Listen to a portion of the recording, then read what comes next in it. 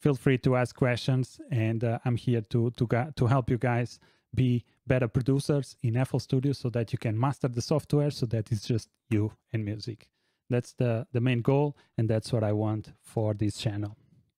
So we have now a, a, a nice question, which is how does compression work?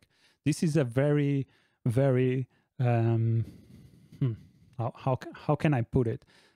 Compression is one of those topics that uh, it's really really hard to get. It's um, but when once you get it, it's very powerful because it's like it's not like EQ. Uh, when you when you put an EQ and you put a, a, a something, you really listen to it. You can see the what you are doing. Compression sometimes it's a little bit more mysterious. Let's say, I don't know if that's the correct word, but it's it's more mysterious. It's more uh, hard to understand. But once you do, it's really, really, really powerful. So also, we have several types of uh, compressors. They come they come in very shapes, very forms. So it's also the problem of of the compressors. It's it's sometimes it's hard to understand because they they come with a different different um, configurations or different layouts and stuff or names and stuff like that. So let's try to answer the um, the the question of what is compression and how does compression work. So basically compression it's uh, let's let me load here some some compressors. Let's use uh, the limiter which is also a compressor here.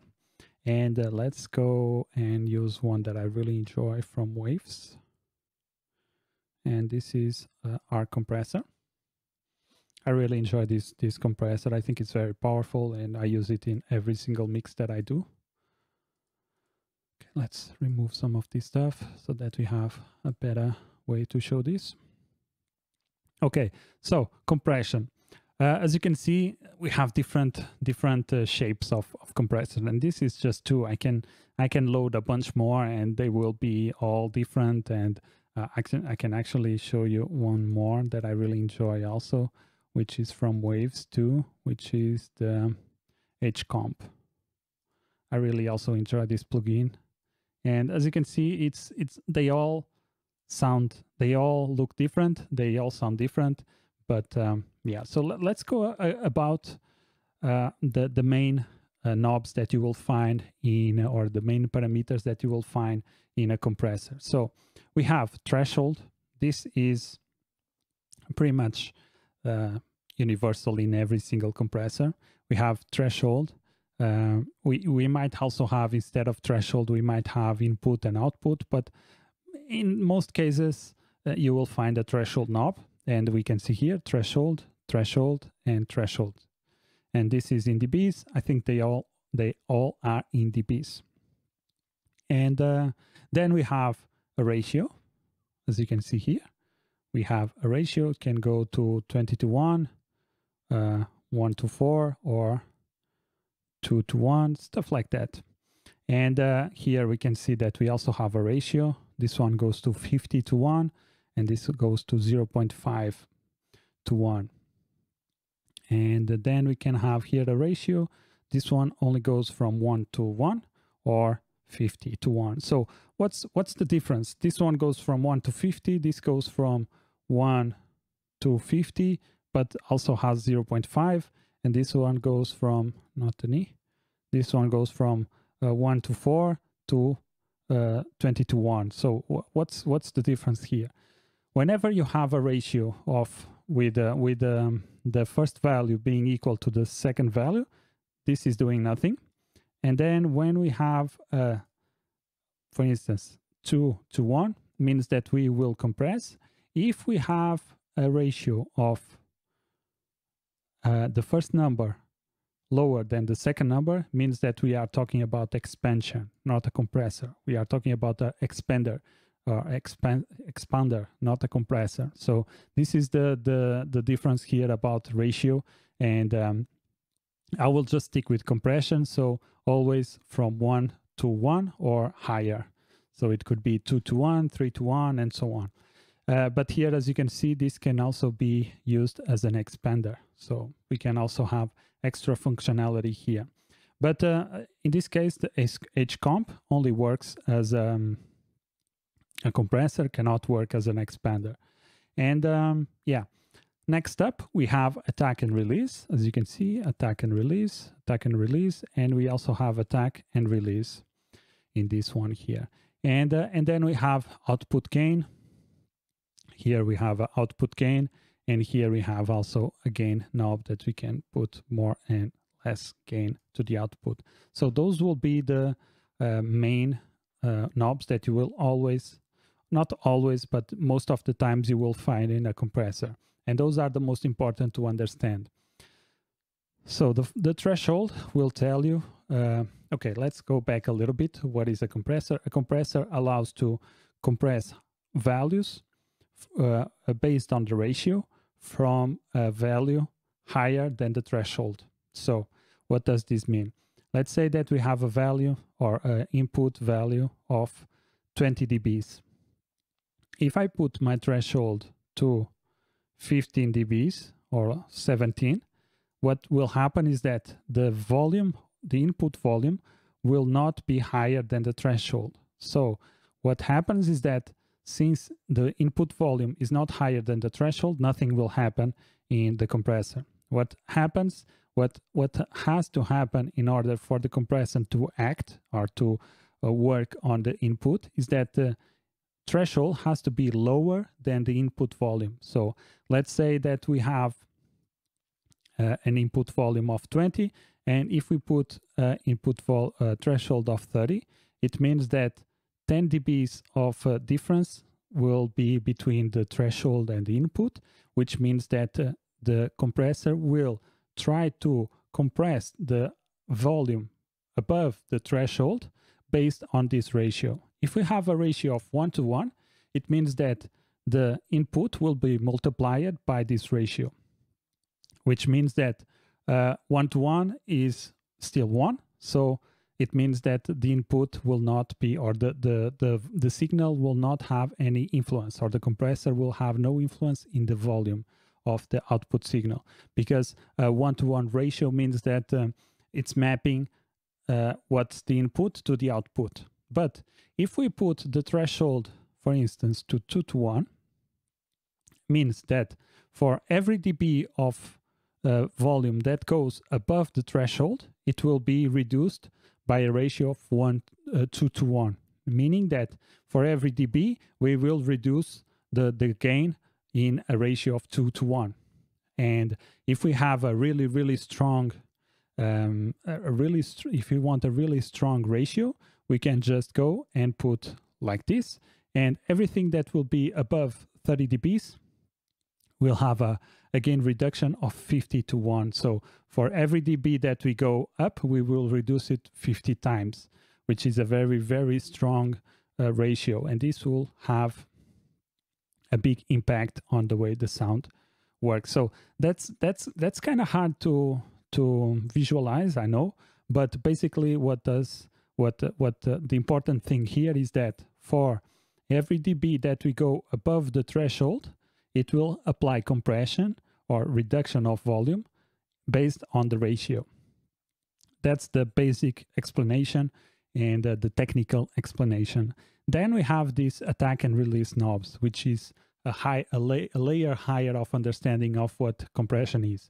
So the basic things to the basic thing to understand about compression is that for every dB uh, volume, every dB, every, uh, sorry, for every dB of um, uh, volume or yeah, for every dB that the volume goes above the threshold, it will apply compression based on the ratio. That's the basic thing. Then we have attack and release. So how fast will the compressor start applying compression above the threshold how fast will determine the attack will determine how fast it will be. So let's say that um, our input volume is uh, 25 dB or minus 25 and the threshold is minus 30. If it takes one, uh, uh, I don't know if I can I can do it that way, but yeah, let's say that I want a, a, a slower attack of the uh, compressor, meaning that for every dB that goes above the threshold, it will have uh, it will attack slower so the, the the compression will be very slow to engage or the compressor will be slower to engage. If I want a really sharp, a really fast compressor to every single dB that goes above the threshold automatically applies the compressor, then I want a fast attack. So this is the, the thing of the attack.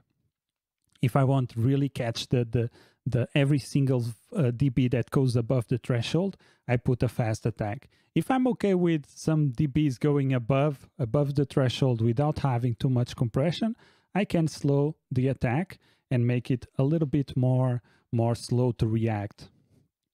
The same thing goes here for the release, but uh, it, it's it's instead of starting of compression, it's letting go of compression. So let's say that I, I want a fast, fast attack here. So for every dB of input here that I have above the threshold, it will automatically apply compression. But then if the whenever the, the compressor starts to, or whenever the input goes lower the threshold, then the compression, uh, uh, then the release will have an impact. So if I want to uh, have a, um, uh, if I want a compressor to release the compression uh, fast, it means that if the, the, the input goes below 30 or minus 30, from this point lower, the compression will be really fast to release. So if the, the input goes to minus 31, then the, the, the compressor will quickly release the, the, the or quickly start stop uh, compressing the volume. And if I want a slower compression means that after one second of the input volume goes below the threshold, we will still have some compression going on. Uh, that's the best way I can explain it. It's kind of it's kind of hard to visualize, but basically you can see this uh, attack and release um, volume or properties based on the threshold level. So let's say that the threshold is minus 30. Everything that goes above minus 30, the attack will have an impact. Everything that goes below minus 30 is the release that will have an impact. And everything that goes above or below, uh, uh, let's say above the threshold, here the ratio will say how much it will compress. So if I want a strong compression, I will put more. If I want a gentle compression, I can put it here. And uh, yeah, so one, one good thing about compression is that even though if you don't understand compression too much, what you can do is just load some presets. And here the presets will have some, some uh, good things, which is like, let's say that I want to squash the, the vocal or a rap vocal. I can select this preset and I see, okay, so we choose 2 dBs or a ratio of 2 to 1 and kind of a fast attack and a fast release. So then I can just play around with the threshold until I find something that I like.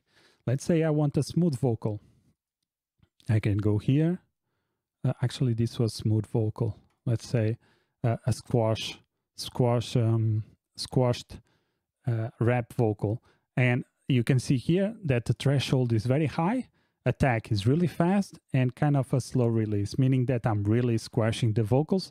And then I can just play around here with the threshold based on the input volume. So you can use really, you can really use presets here in in uh, in compressors, which I don't recommend too much in um, in EQs, but um, in compression is really, really cool because you can take this ratio and, and uh, attack and release settings and just play around with the threshold. I, I do that a lot actually.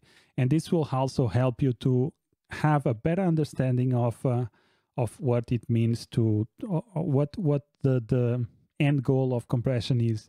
As we saw here, if we wanted to squash the rep the vocal, we would do stuff like this.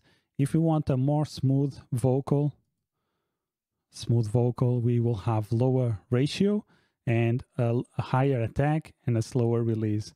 So it's it's stuff that we can play around with. And after you understand the point of the threshold, the ratio, and the, the volume or the, the input volume going above or below the ratio, and how these this attack and release happen, uh, then you can start to get a better idea of these this again will take some time. Uh, will take some time to to to get, but uh, again, this is is just uh, it's just experience. You have to first understand the basic concepts, and then you have to play around with some some uh, some configurations here to make sure that you start to gradually understand better and see some examples that will also help a lot.